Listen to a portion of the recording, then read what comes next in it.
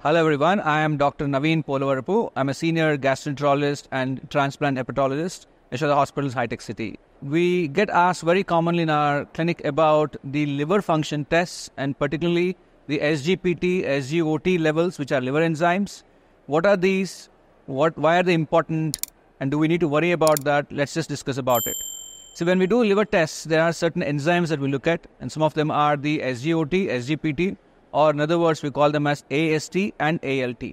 So these are the enzymes which get released from the liver cells. So when there is any inflammation to the liver, these enzymes get elevated.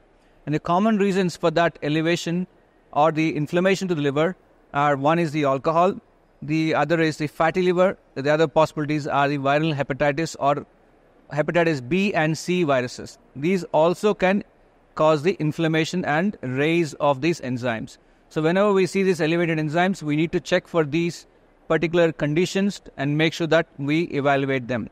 Along with this, there are 100 different reasons why enzymes can get elevated. Like, for example, autoimmune conditions where our own soldiers of the body, which protect us from outside infections, if they sense that the liver is an outside organ and they start damaging it, so in other words, our own immune system attacking us, even that can cause elevated liver enzymes. So, whenever you see enzyme elevation, these are all the tests and the conditions that we need to evaluate.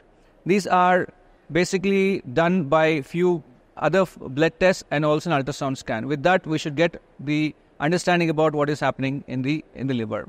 So liver health is very important, and please get yourself checked regularly. If you do have any of these enzyme elevations, please do not hesitate to contact a gastroenterologist or liver specialist so we can evaluate all these conditions in detail. Thank you very much.